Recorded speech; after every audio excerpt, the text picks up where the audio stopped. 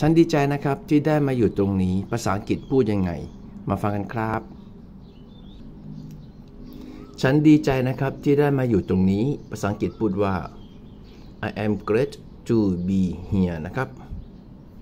I am great great คือดีใจนะครับ I am great to be here here คือตรงนี้ครับ I am great to be here ฉันดีใจที่ได้มาอยู่ตรงนี้ครับ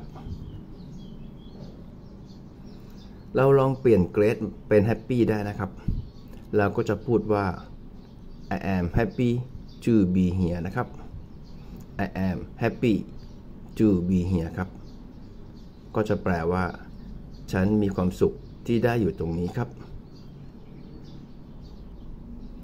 และเราลองเปลี่ยน great เป็น excited ก็ได้นะครับ excited ก็คือตื่นเต้นนะครับ ก็จะพูดว่า I am excited to be here นะครับ I am excited to be here ฉันรู้สึกตื่นเต้นนะครับ ที่ได้มาอยู่ตรงนี้ครับ ฝึกภาษาอังกฤษนะครับ แบบนี้ด้วยกันไปทุกวันนะครับ เก่งแน่นอนครับ เล่มนี้เป็นเล่มหมวดการทำงานนะครับ ถ้าใครจะใช้ฝึกพูดในที่ทำงาน ผมขอแนะนำครับ ถ้าชอบนะครับ คลิปดีๆ แบบนี้ก็เหมือนเดิมครับ กดใจเม้นแชร์ เป็นกำลังใจให้ด้วยนะครับ ขอบคุณครับ